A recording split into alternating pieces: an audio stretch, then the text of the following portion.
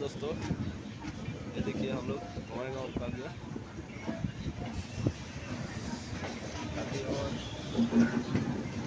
सात आठ घंटा के बाद अपना स्टेशन मिलेगा।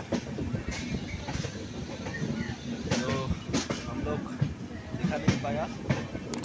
एक दिन पूरा ट्रेन में भीड़ था, इसलिए ब्लॉग नहीं बन पाया। तो आज दिखाएँगे आप लोग को हम लोग। आ गए तो अभी ट्रेन भी खाली हो गया है। ब्लॉग बनाने के लिए भी ऐसा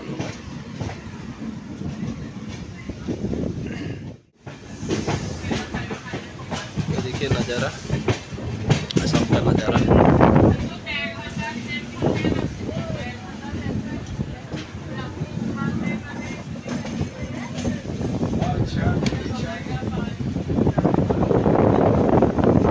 देखिए कैसा लग रहा है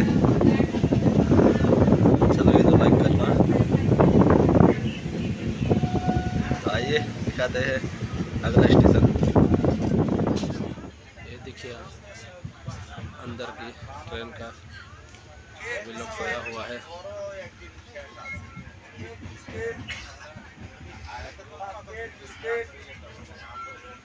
Cake biscuit cake biscuit.